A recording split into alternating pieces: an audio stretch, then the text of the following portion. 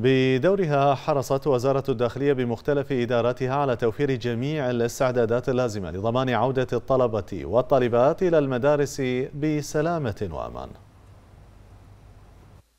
تولي وزارة الداخلية بمختلف إداراتها اهتماما بالغا لتأمين سلامة عودة الطلبة والطالبات للمدارس من خلال تكاتف رجال أفراد شرطة المرور وأفراد شرطة المجتمع وحراس المدارس لتوفير المناخ الآمن للطلبة بدءا من دخولهم لأبواب المدرسة إلى تزويدهم بالبرامج والإرشادات التوعوية التي تسهم في تقويم الطالب ورفع معدلات السلامة.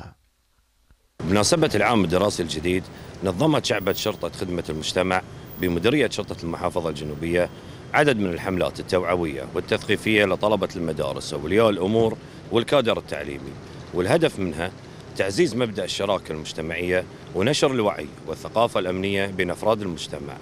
وتم تنظيم عدد من أفراد شرطة خدمة المجتمع في الفترة الصباحية والمسائية بمحيط المدارس وذلك من أجل تأمين سلامة أبنائنا الطلبة.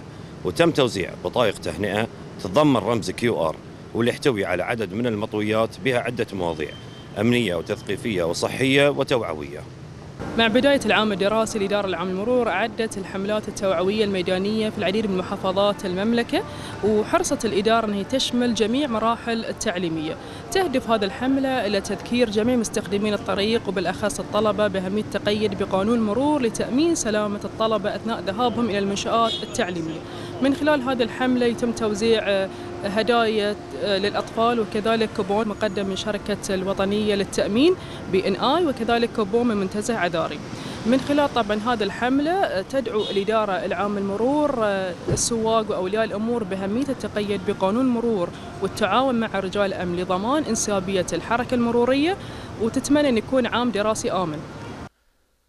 جسدت وزارة الداخلية أجمل صور الشراكة المجتمعية من خلال تواجد رجال أفراد الشرطة في محيط المدارس مع الجهات ذات العلاقة وفق خطط تعمل على رفع الوعي لدى السائقين وأولياء الأمور والطلاب مع ضرورة تعاون الجميع بالالتزام بالأنظمة والإرشادات المرورية وتجنب السلوكيات الخاطئة لتحقيق سنة دراسية آمنة.